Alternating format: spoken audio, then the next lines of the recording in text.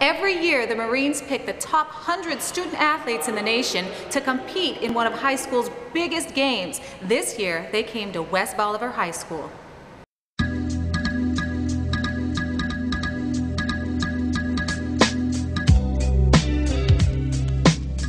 Kailo Moore will be heading to California in January to represent the West team in the nationally televised Semper Fidelis All American Bowl.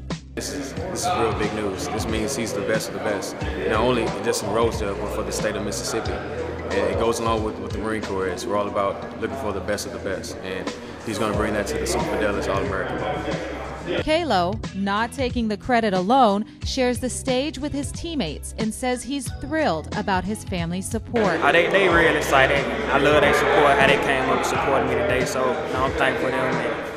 And I like to see them excited. It makes me excited. And he's grateful his hard work is paying off. It mean a whole lot. I've been working hard for since I was seventh grade, and it came in my senior year. So it's just a great day. I'm happy. His whole family is happy as his mom jokes about the secret to his success. I beat him. Can I say that on TV?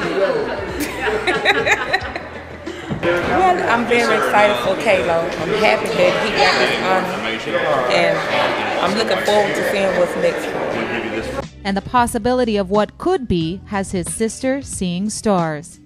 I feel like we famous. In Rosedale, Christina Awayo, WABG Sports.